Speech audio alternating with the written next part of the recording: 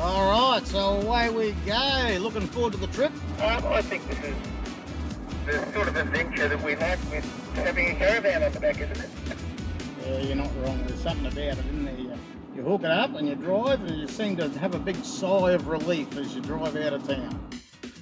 And we're off. A third wheel and his two new mates on a road trip to the Macedon Ranges. Isn't it nice to be rolling into somewhere where you've got absolutely no expectation? They generally pop up and give you some bloody good memories. No, completely agree. It didn't take long once we got off the Western Highway exit for Lyndall to become an impatient backseat driver.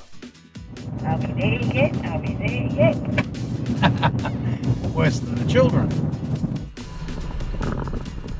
Round to the left here. Oops, steep grade. Use low gear. There's some advice.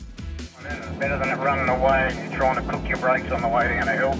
I like just dropping it down to gear and just being comfortable all the way down. Yeah, they make it easy for driving with you know, heavy loads behind now. It's kind of hard to believe. We're only, what, an hour, hour and a bit from Melbourne?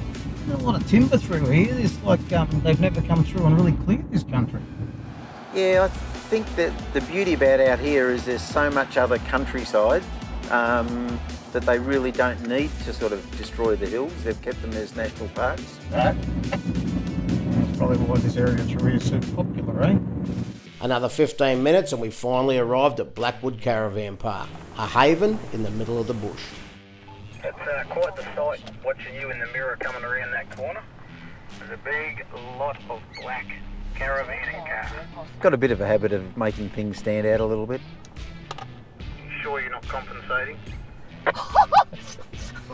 I think you just uh, upset Lyndall then. Now, the drawback of having such a big van is having to reverse park, but Brian knew exactly where to put it. Work, work. As we were unhitching our vans, Brian and Lyndall were joined by Polly and her mate Penelope, who both wanted the cracker. Empty box. Excuse me. Bye. Here you go. Have a look out the window. There you go.